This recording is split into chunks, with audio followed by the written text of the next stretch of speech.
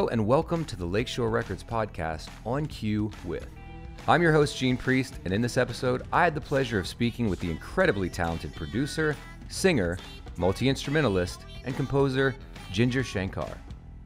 Her most recent release was for the PBS POV series documentary, And She Could Be Next.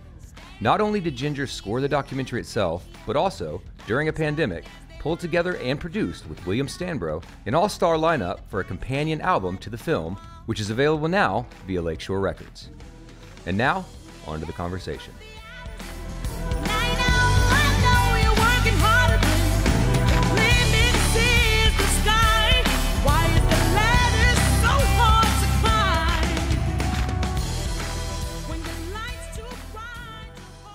Gingger, thank you so much for being on the show. How are you?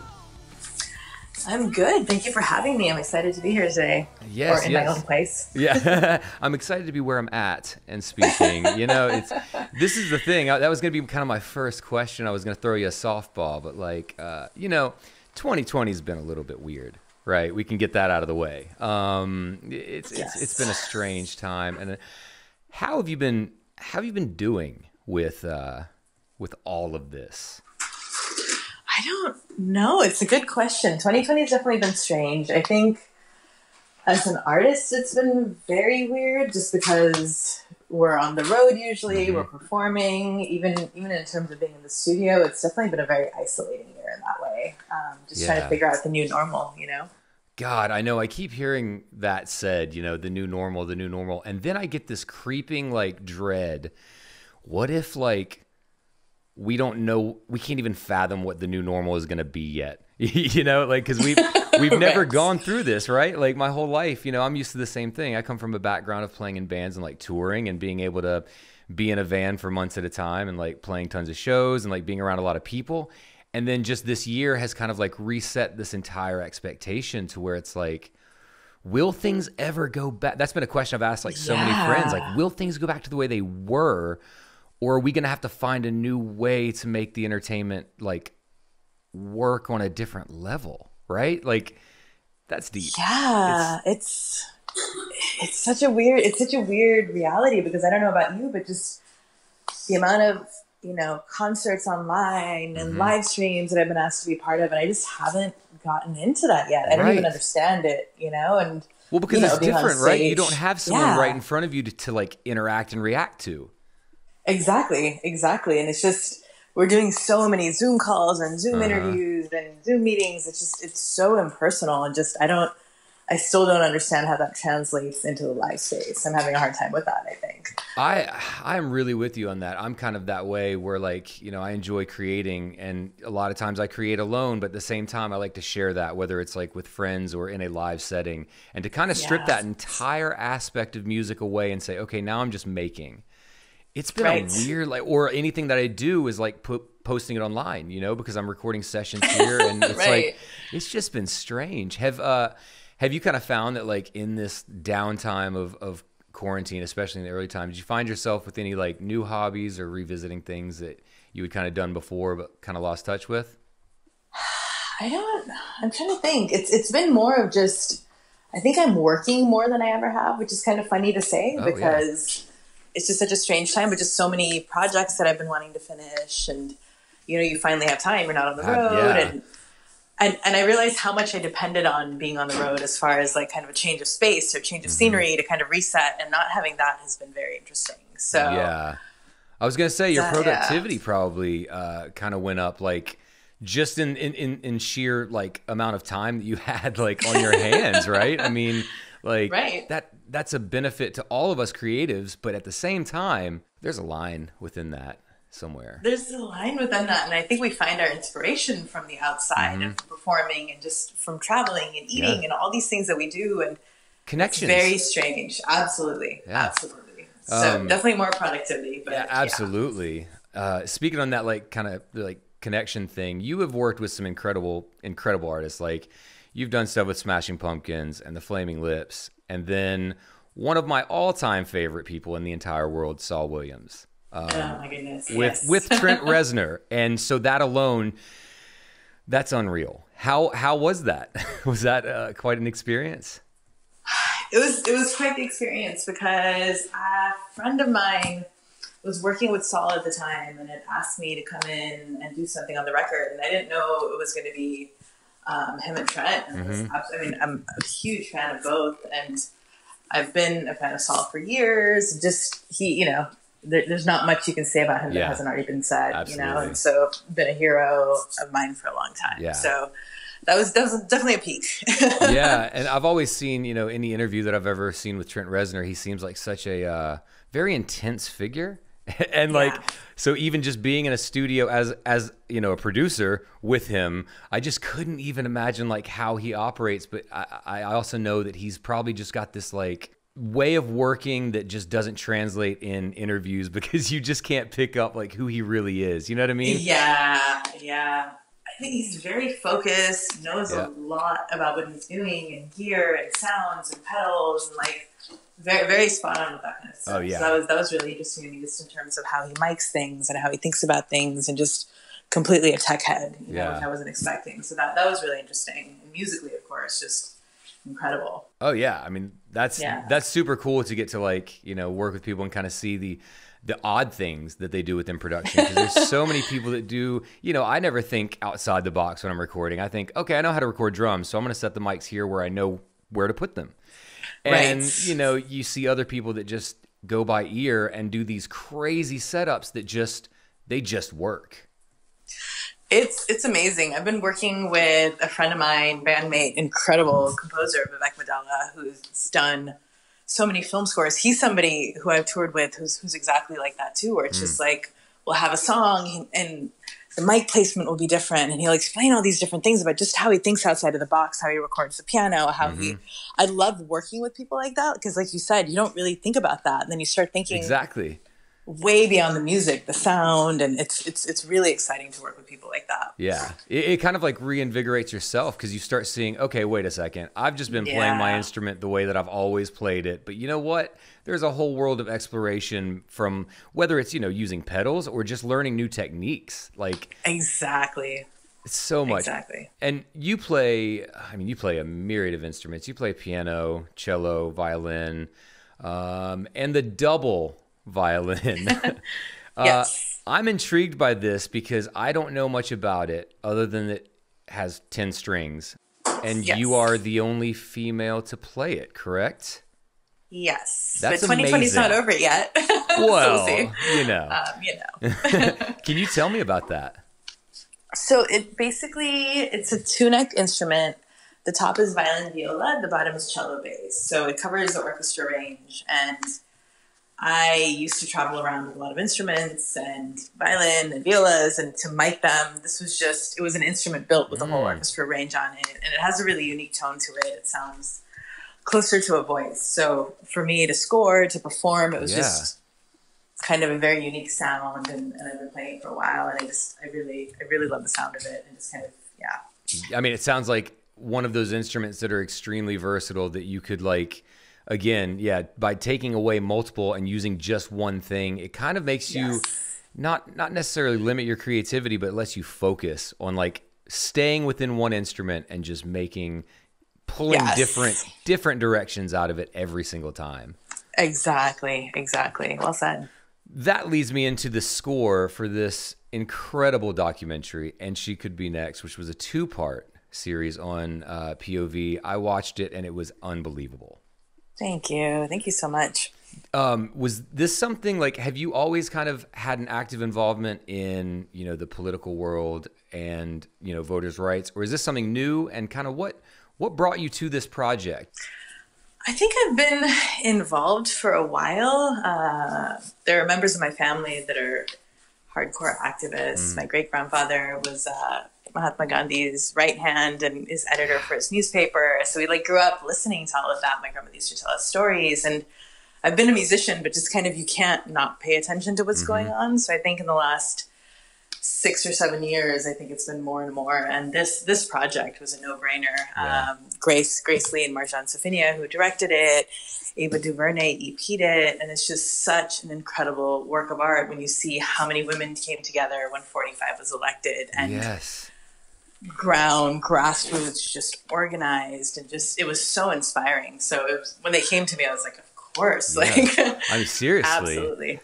Yeah i mean that's the thing is like it, it, it's pretty incredible the emotion that like it pulled even though like i've kind of seen this play out you know like the, yeah, the elections right? and stuff but like watching uh congresswoman tlaib and her son yeah. Oh my god like tears, li- literal yeah. tears of a man that uh, you know is watching this documentary, not knowing behind the scenes and thinking, "Wow!" Like, yeah, that's all I can say is unreal. Yeah, yeah. I mean, what they captured, and I mean, they they were out for years mm. following mm. these incredible women, and just you forget how much is going be- on behind the scenes, especially yeah. for women who have, you know, they have to deal with so many things and also pushing things forward because of the next generation and just we don't see any of that we just see the political mm-hmm. side of mm-hmm. it it was it was really like you said like i had seen these things before from the outside and just, yeah. it blew my mind when you knew what all the things that they were dealing with at the same time you know yeah seeing that emotion from her son you know knowing at that age you know and understanding like what was going on like at his age i didn't know anything yeah. about politics i was not aware you know Same. and so to yeah. see how like anxious he was and how you know passionate he was at that age it's like man this is incredible because you know i i see this younger generation already taking a different you know stance because i i personally have a 12 year old and let me tell you i know all about tiktok and the the political side of tiktok that happens. And it's, it's incredible. right? Yeah. it's this huge thing she's telling me all the time look at this. This is crazy. And i mean like she gets news before i do sometimes. Right like uh, it, it's mind blowing. But like they're so hyper aware at that age now that like when I was 12, I was skateboarding and trying to like do as little as possible. Like right, right. I just I, it's yeah. unreal. I mean, these kids are organizing marches and the climate yeah. movement and the gun. I mean, they're they're doing so much, and it's just.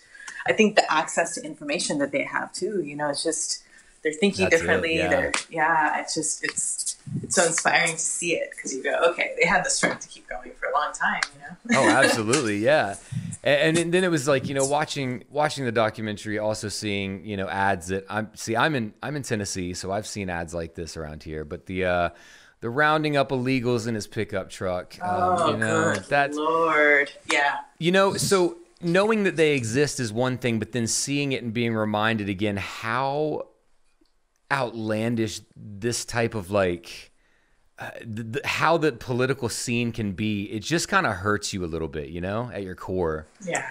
It's it's it's strange because i think people have been so, so shocked the last four years. I think yeah. like really shocked about what's been going on but i think so many other people have known this for such a long time That's exactly. When you think about even the last you know seven eight years standing rock and ferguson and just the reality that these communities have had to face, right? Absolutely. Brutality and and all these things, and then the rest of America is shocked when you see right. a crowd getting tear gas. But it's like this has been going on for a really long time. So I think the last four years have been such an eye opener I think to so, so many people who kind of have been living in a bubble for a really long time. You know. I know, and it's only getting worse. You know, it's one of those yes. crazy things where I had to like, okay, I'm obsessed. I'm I'm kind of a media and, and news junkie where I have to like take in everything all the time. I think we all have become that too. right? Okay. Okay. Good. Yes. I, I started to think that maybe like I just slipped into this weird version of my dad that I remember from like when I was young, where he always watched the news and that was like what he watched, right? Like, yeah. Yeah. But I had to, I found myself kind of having to like turn it off during the days because even when I worked, I would have it on in the background, but it started to become just like literally in my lifetime i've never seen something to where it's not even month to month or week to week anymore. It's just day by day things are just yes. so outlandish that i look at it and i'm like wait no this should this this can't be allowed. This can't be allowed. Right. Right. Right. But it also feels like we're like frogs in in that pot of boiling water where it's just mm. slowly incrementally getting worse and we keep saying it and it keeps getting worse. Yeah. and so so the question is how far does it go before before we do stop it you know exactly. and it's, it's been i think like you i think so many of us we're watching everything all the time because it's you don't you don't know what's coming day to day mm-hmm. or what's going to happen and yeah i think i think we're just almost like shocked. I think is the word at this point. Yeah, like people yeah. just feel like numb to what's happening because you go, "Oh, that happened. That couldn't have happened." But Numb's a good Oh, way to put it. Because you, You know, think of so- like when when the pandemic started, right? And you think of how many months ago that was, but oh my god. Time is nothing anymore. no, it's October. It's Yeah. October. Yeah. Yeah, It's- we were talking about March being inside for a couple of weeks. You know, it's Oh. October. Yeah, it's yeah. it's a whole new world. Yes. So let's Yes. talk. Let's let's lighten it up a little bit, though. Um, you know, because because we both know that you know now that polls are open, um, you know, there's going to be like really long polling lines, and it's just something Yes. though. You know, before we move on from it, that that we have to emphasize like that four letter word, man. Like we all have to do it, and and, We and all have to do it. the line might be terrible, but you can load your phone with plenty of media. You know this this album included, and and and Yes. stand. And we can do this because we know that we're waiting, and it, it, the wait is going to be worth it because it's for a change. It's for a change. You know, no no more no more of what we've been seeing. Exactly. No more. Just you have to bring camping chairs, bring water, bring Mm-hmm. whatever you have to bring, and bring phone batteries. You know, chargers. It's. It's, it's, it's gonna be it's gonna be a very interesting three weeks, but Yeah, I think when I you know. see like how these communities are all turning out in higher numbers than they ever have, it's Yes. really encouraging. It know? really is, and I think that we need to just vote compassion back in, Yes. right? Like let's start caring Yes. about one another again. And then Yeah. you know uh, everything will fall back into place because I think that's where lo- the the site's been lost. It's just it's sad. It's sad. It's really sad, and it's not Republican Democrat at this No. point. It's just humanity, it's Yep. compassion, it's empathy. Like Yep. we have we have to go for that before there's any more discussions. you know? Absolutely, I agree with Yeah. that. Yeah. yeah. So this this album, uh, you co-produced it with William Mm-hmm. Stanbro, and uh, first of all, the roster of artists that are on this. Uh, what a fantastic collaboration. And I think you even pulled this together within quarantine, didn't you? yes. And that blew my mind when I heard that. Like, wait, how? tell, tell me a little bit about how this came together with so many heavy hitters during such a weird time.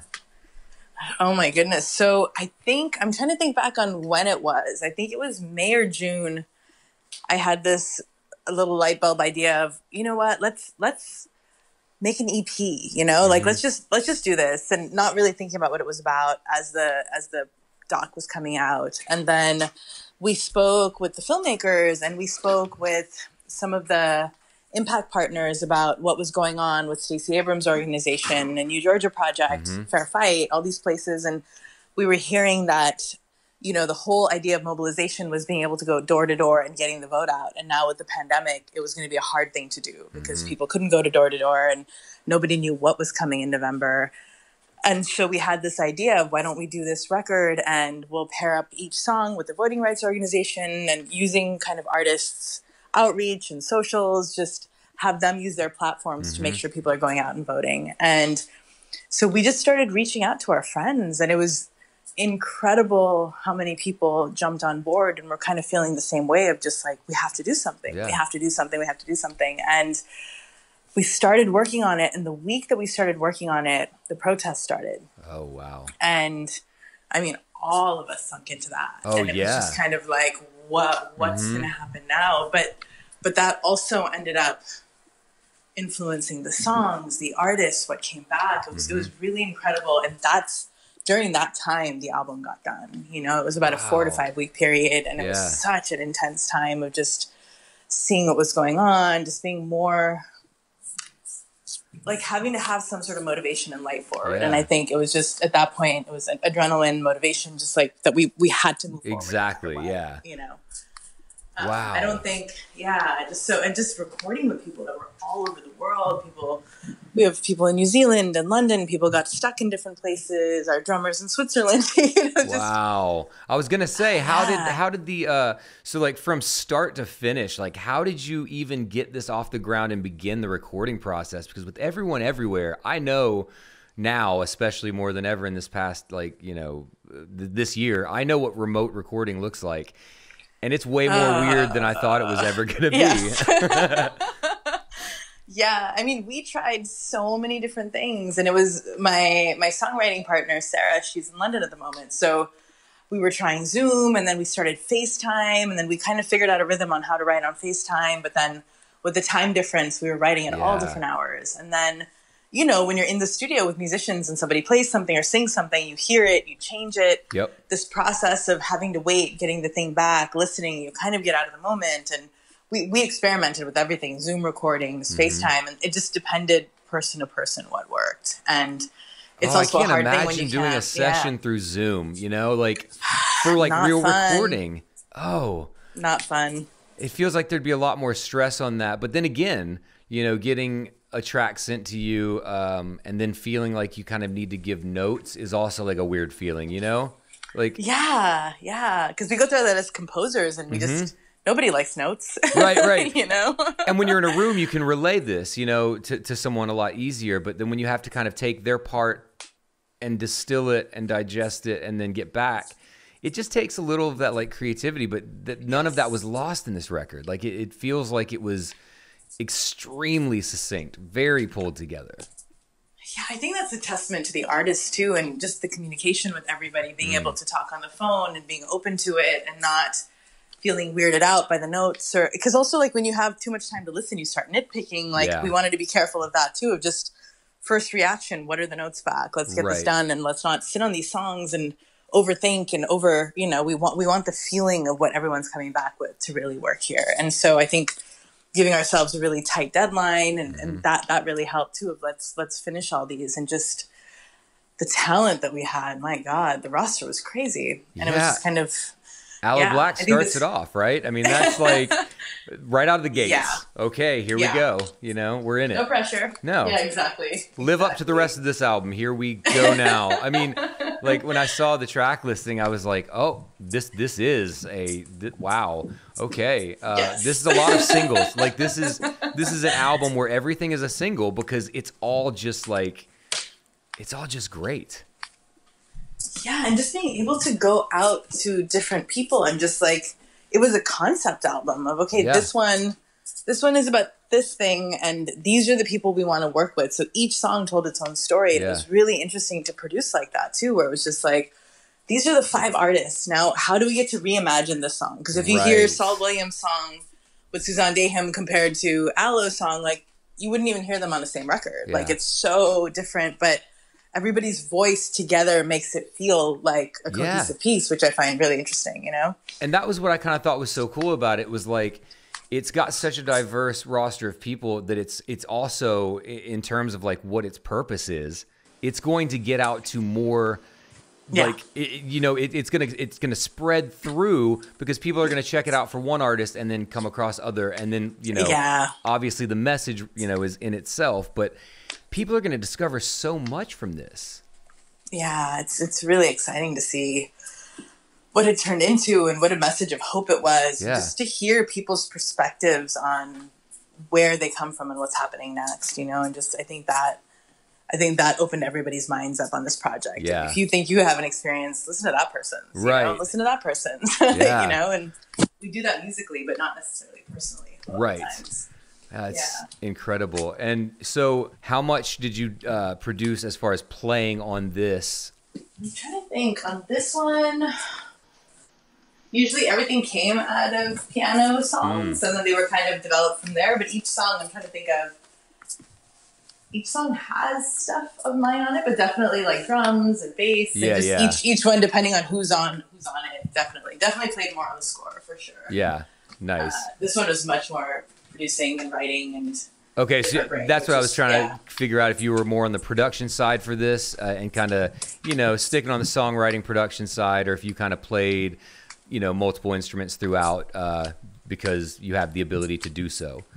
Yeah, I think I played instruments through them, but definitely more of a production writing thing on this one. I think I only sang on a couple of the songs, but it was definitely more of just wanting to work with all these artists and having their voices through it. And it was, it was really cool. Yeah. Nice. That is so awesome. And w- about the uh, the score, what kind of uh, inspiration were you pulling when you kind of knew the undertaking that you were going into? Um, what kind of gave you a starting point to uh, score such a long and, and beautiful two part documentary?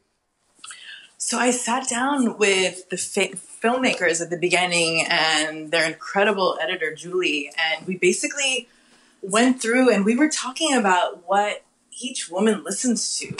And we were trying to figure out, like, what does Stacey Abrams listen to? Mm-hmm. What does Bushra listen to? What do, and just kind of getting inside their heads and hearing where their motivation comes from. Because we didn't want it to sound like a typical film score. Like, these are all women who come from different places and kind of what what is in their head and we kind of built from there kind of going okay Stacey likes this so we're going to come at it it's not going to sound like film score so that was that was really fun it ended up being much more of like a pop rock R&B right. score and you know it was they felt more like songs so even to the album some of the instrumentals turned into songs on the record you know because yeah. it, it kind of was going in that direction.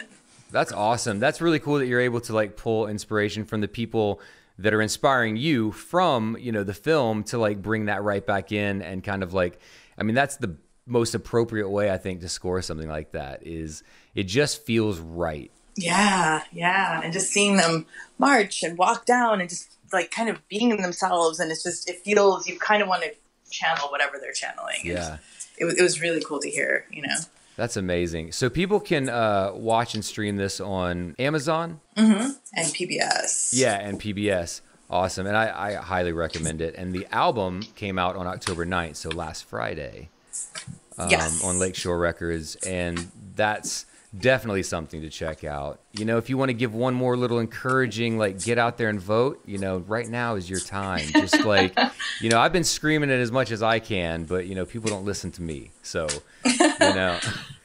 I, I would just say that this this election is not really against two candidates. I mm-hmm. think it's really voting with your conscience, voting with empathy, and you know, making sure that 200,000 more of us don't needlessly have to die under people that really don't care about things. And I think it's the smallest thing you can do is to go mm-hmm. vote. So make sure you're registered, get out there, and if you've already done it, drive people to the polls, volunteer as a poll worker, because we're going to need a lot of help on election day because. Mm-hmm people that are saying your vote doesn't matter are really trying to stop it at this moment. So that should tell us everything Ooh. we need to know. Yeah, I hear that one a lot. I hear that one a lot, and it's a really tough one. Um, you know, to, to hear people that you know they're kind of giving up on it right at that. You yeah. know, my yeah. vote doesn't matter. But no, no, no. It's it's no. we have to show up in numbers, and we have to do this because it's it's a united thing, and you know this is what we have fought to be able to do. So you have to do it right? You know, and, and, 96 million people didn't vote last election. Oh, That's an insane number. It's that, an insane number. That yeah. is a painfully insane number, and I very painful number. Yes, I don't foresee it going the same this time around. I think no, that maybe absolutely not. You know, that spark that 2016 started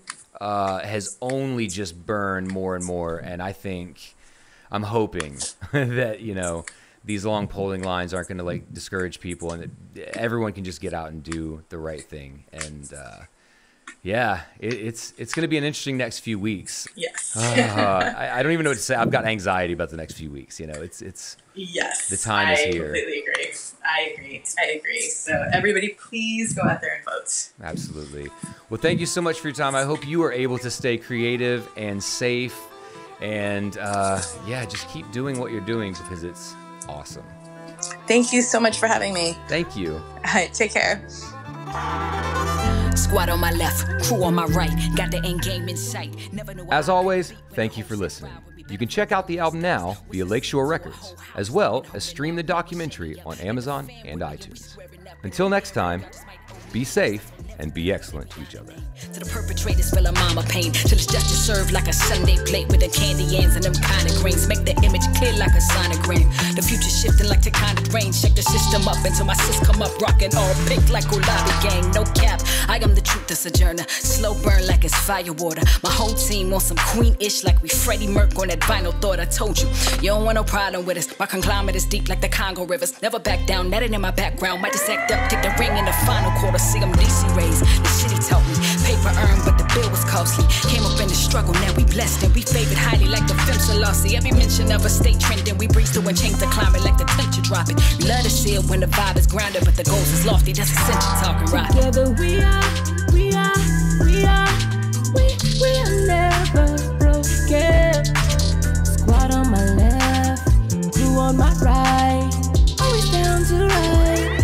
Yeah together. we